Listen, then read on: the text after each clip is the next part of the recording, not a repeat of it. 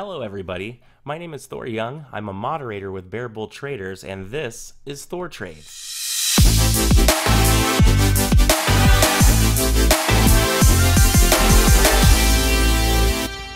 In today's session, I'm going to be talking about how to trade the pre market.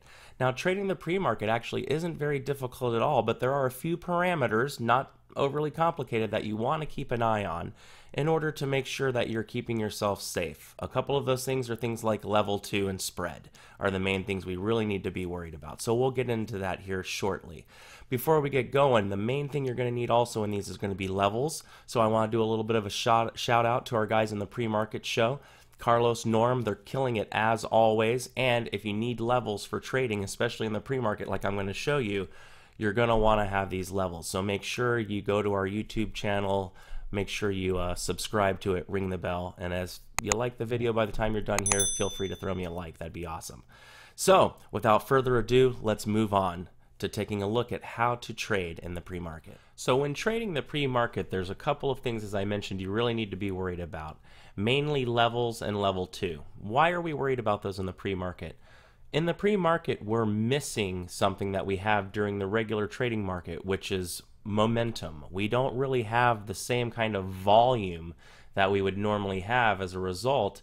And without that, we generically have a little bit more trouble with patterns adhering to the way that they're supposed to go to. So if you're trading utilizing patterns, you're going to have a lot of trouble trading in the pre market because patterns often fail in the pre market. Um, when I originally traded, I didn't trade the pre market for probably the first year and a half of my trading career because I just could not get the hang of of that particular time period.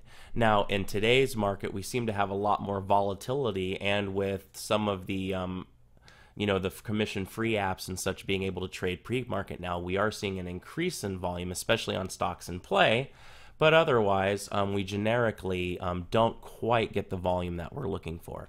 So on Apple, I utilized a couple of the different um, things I'm going to talk about simultaneously. One is levels, and the other is level two. So the first thing I noticed on Apple was that Apple had come off a little bit yesterday, and it was holding above this um, 453 uh, level here. Now, if I pop out my five minute chart here, you go back in time, 453 was right around the test of this candle. So when I'm looking at the pre-market, I tend to like to go back to the prior day and look and see if there's any relevant price action that really kind of goes along with what I'm thinking. And when I came back in time around 253, what I noticed is we had this low volume test here before we moved back up. So I, I, would think someone probably got into a position here or something like that happened, but it definitely showed um, some support. So with that in mind, you know, at least I had a level that this was working off of, and I decided I would go ahead and and give that a look. So you can see once I had that level marked, I came back over to my um, five minute chart, and all of a sudden you can notice this. Let me actually grab my one minute chart because I was using that at this point. You'll notice this. We started to have tons of wicks and body closes all right, that you can notice throughout this chart at that level all the way through pre-market. So seeing those coincide and also seeing it bottom and then it managed to, you know, pivot here and then go up and then come back down, I thought, you know, this could be a really nice area uh, to get a pre-market trade off of. So this is what I'm talking about when I say we're using levels. So if you look here, I now have this level established. So as it holds this level and comes up towards um, VWAP, I went ahead and took a long position. My stop out was going to be the loss of this lower area right here. So not too tight, but also not too loose either. No reason to let it drop all the way down to here.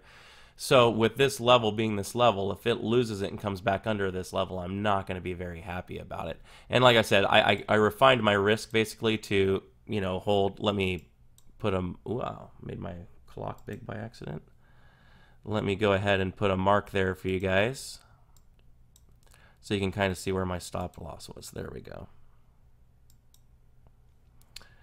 So as you can see here, this was basically my my risk, right, was in at in here, stop loss was out here. So not too bad. consolidated here a bit and then broke up. Got great partials at, I mean, probably a six to one on my first partial.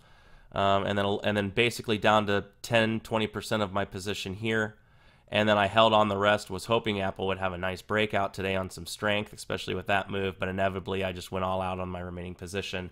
Good thing, too, Apple inevitably rolled over. And then look what happened at that level we had marked shortly after. Let me move me over here real quick. So if you notice here, 453, only a 10 cent stop. We ended up moving all the way up to 470. So, like I said, about a 6 to 1 pop on that, which was great.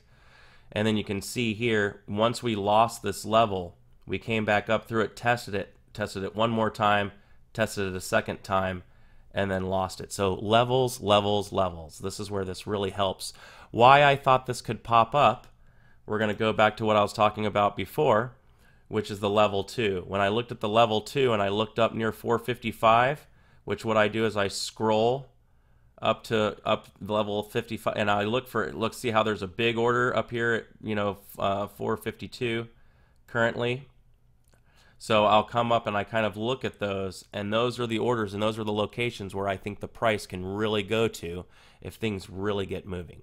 So I also traded AAL very similar method. Um, you can see here let me pull my daily back out.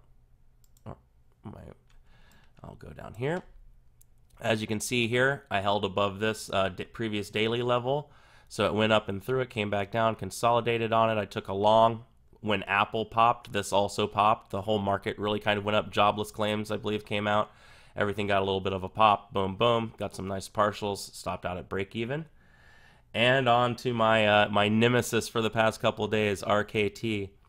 So I have been having just an absolute blast with RKT. Um, I'm going to pull up my five minute chart real quick. RKT yesterday IPO'd, and um, I went long just above $19 with the loss of $19. Um, a really nice, perfect area. It moved up. I got partial, and then it came down here and it stopped me out. I took one more long. It, it got up, took out a partial, and then got stopped out. And then this thing just had an absolute rip um, you know, and then I spent, you know, part of the day just FOMOing on it. So what were you gonna do? So, but I I, uh, I was laughing in the chat room because I finally got my revenge. Um, you can see here RKT was looking quite strong this morning. I went long. I got a partial, but then I stopped out. Um, let me get to my one minute chart so you can see that a little bit better what was going on there. So you can see on my one minute ch chart, RKT consolidated, pushed up here. Um, I, I, really wasn't happy with the this breakout, so I wanted to wait a little bit, and I wanted to see what it was going to do above this level here, um, which is like right at a you know 2460. It got above it, held it consolidated, and made a new high. So I went long, partial, and again I played the stinking thing a little bit too tight. Um, got stopped out and then it moved without me. No FOMO. I waited. It came back down, held the 50 SMA, made a new high, so I went long, and I got and I got my revenge finally. Um, but then it came down here. I stopped out at the open because it came below that, and I, I was well over goal for the day already pre-market, so I didn't want to give any money back. And then of course, it ripped to 2660 without me. So inevitably, RKT wins. I lose. Although I guess I made money, so I didn't lose. But RKT always managing just to get away from me the past ones. So anyway, that is my um, my uh, video here on trading in, in the pre-market. Um, just a quick synopsis. What I'm talking about is levels levels, levels, and L2. Um, volume will help, but since you don't have a lot of volume, it's a lot harder to read in the pre-market. So focusing on using precise levels when L2 for signals, I think is often more beneficial. Um, but always, if the stock is in play or if it has good catalyst, then volume is always king. So um, I hope everybody has a great day. Um, I appreciate your time, and as always, keep it green.